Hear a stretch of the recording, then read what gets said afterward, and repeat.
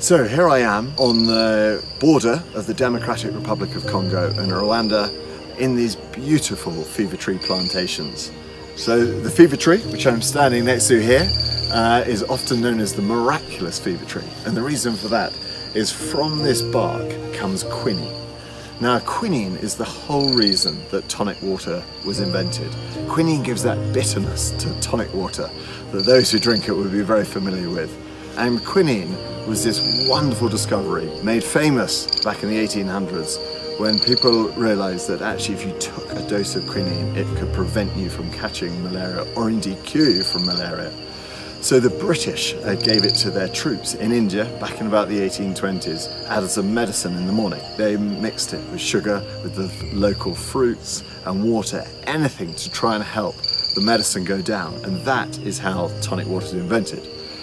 But the British troops also carried another thing with them, and that was a ration of gin. So they added an expedient of gin to their morning medicine with their officers' permission, and that is how gin and tonic came about.